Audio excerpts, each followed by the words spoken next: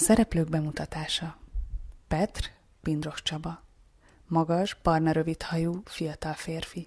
Hétköznapi öltözéke pólóból, farmerből és egy sötétebb félcipőből áll. Anya, Molnár Piroska. Idősödő, asszony, fején időnként barna, csigákba rakott, rövid frizurát kölcsönző paróka.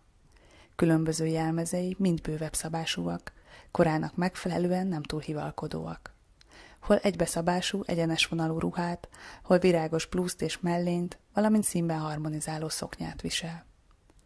Apa Szombati Gyula. Bajszos, enyhén őszülő, rövidhajú férfi.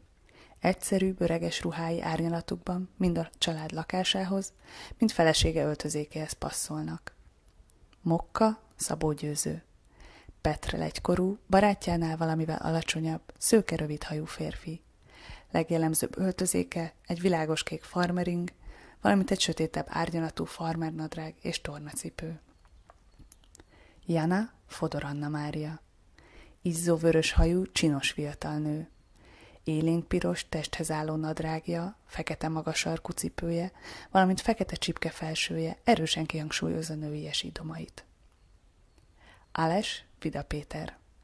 Fiatal, szemüveges, barna göndörhajú férfi kisé unalmas, hivatalnok kinézetét többek között rózsaszín hosszújú inge, fekete öltöny nadrágja és fekete-fehér haráncsékos nyakkendője adja. Szilvia Grisnik Petra Fiatal, magas, vékony nő.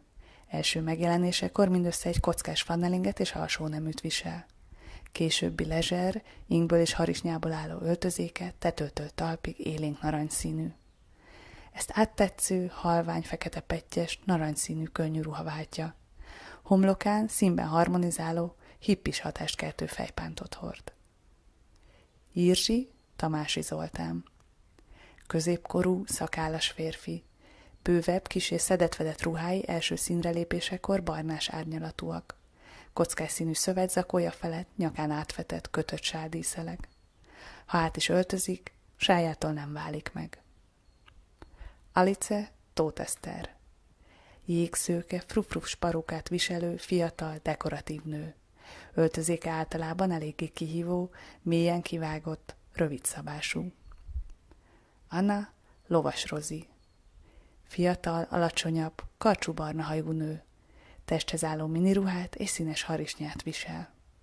Anna karakterén kívül egy alkalommal egy táncos nő szerepében is megjelenik – ekkor fekete kezes lábast és fehér balerina tütüt visel. Eva Bánovics Vivian. Éjfekete parókás fiatal nő, háromnegyedes testhez álló vörös nadrágot, fehér, pán nélküli, fűzőszerű felsőt, valamint egy fehér szörmekabátkát hord. Karján könnyékig érő, fekete kesztyű. Főnök Mózes András fiatalabb, zakófelsőt és farmert, valamint sportcipőt viselő férfi. Mózes András a darab folyamán még egyszer ebben feltűnik.